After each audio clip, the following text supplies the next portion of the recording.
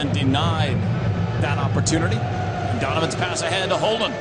Stuart Holden. Oh, oh, that hurts. Yeah, that's a bad challenge, actually. And it was the first foul you saw. Van Bronckhorst comes in late. The number five left back from De Jong. Nigel De Jong plays a man sitting in the central part. There's Van Bronckhorst, catches him in the heel. Then there's a late challenge again through the midfield. Nigel De Jong. Stuart Holden making himself available.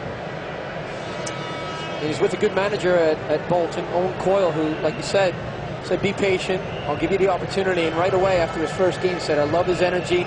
He provides good service on the outside. Tough to see Holden still down there. While this was going on, Jose Torres was called to the USA bench speaking with assistant coach Mike Sorber about something. That's the one time you really get to coach in these games. There's a clip of the heels. It puts him off balance. He's still on his feet. And then it's a late, challenge. yeah, late challenge there from Nigel De Jong. Catches him just high above the ankle, looks like. We're hoping that Stuart Holden can get up and continue on. Only half an hour gone so far in his first half. You talk about opportunities and open doors, and an injury can close a door on you. DaMarcus Beasley is up, warming up on the sideline.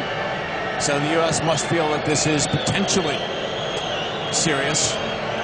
Stretcher's coming out right now.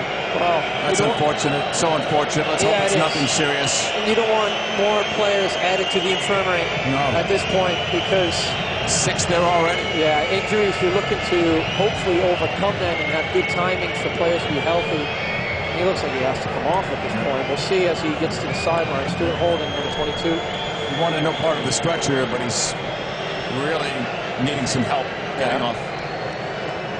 Nigel De Jong with that tackle there as he speaks to van der Wiel, the right back.